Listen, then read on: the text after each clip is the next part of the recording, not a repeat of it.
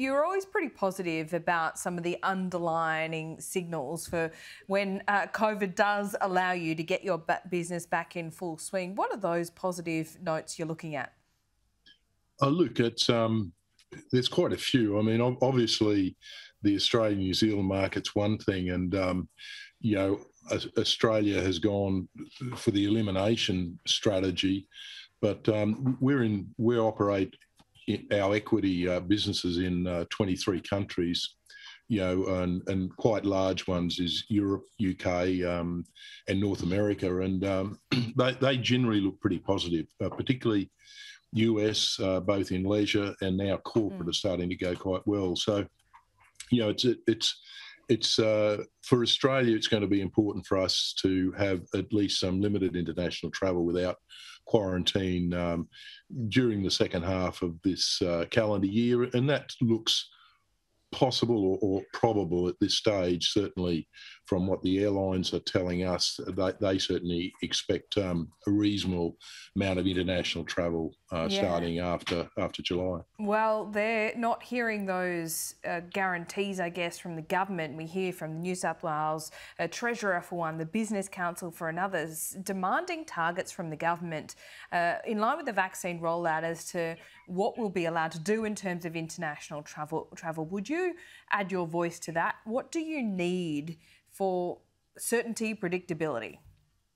Look, the, the, the, major thing is is vaccination rollout. I think everyone knows that. I think the government understands that. We, we just need to make sure that um, you know the people who could get sick and die, uh, you know, the old and the um, the ill do, can get vaccinated before widespread um, vaccinated travellers can come back into the uh, into the country. And I think I think nearly everyone understands that now. Um, it's it's also a matter of making it happen, of course. So. Uh, that, that's really the major thing.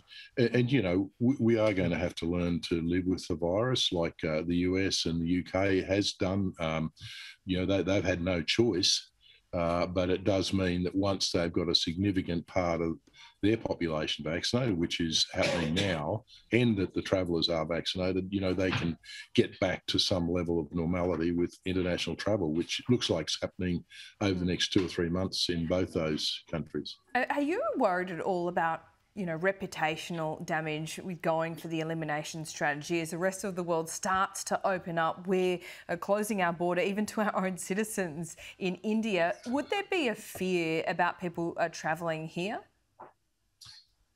Well, yeah. I mean, you know, at some stage, Australia needs to open up to the world. It's it's probably a bit early now, mm. and uh, you can sort of understand the Indian situation, I, I, I guess. But um, yeah, some stage, we just got to, um, you know, when when enough vaccinations happen and when we can accept vaccinated uh, travellers, uh, and I don't think that's that far off. Um, you know, it's certainly not going to open up widely in the next couple of months, but uh, I do think by the end of July we'll be allowing certain people who are vaccinated back into the country with minimal um, mm. quarantine, certainly not hotel quarantine anyway, uh, providing they are testing um, ne- negative. So, you know, I'm, I'm, I'm reasonably positive that uh, we things are going to get better over the next few months from Australia's point of view, and I, I, I tend to agree. You know, we, we it's it's a matter of um, not being too risk averse, but uh, a- accepting that it's about suppression of the virus. Um, in the longer term, not elimination. Yeah, indeed. What do you know that we don't, Graham Turner? Because July seems very ambitious.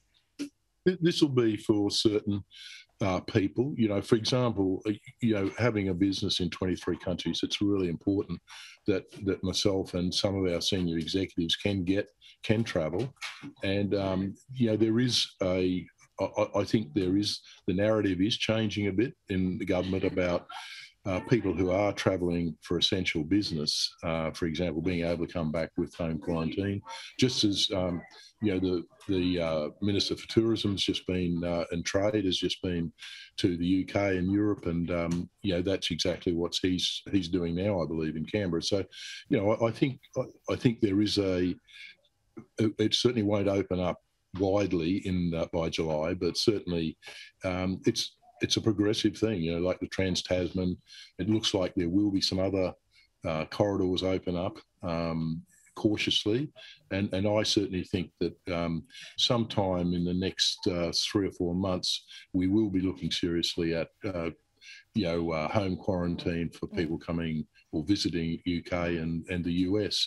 So uh, yeah, maybe I'm I'm being a bit uh, too positive on that, but that's that's what that's the angle we're we're sort of getting at the moment.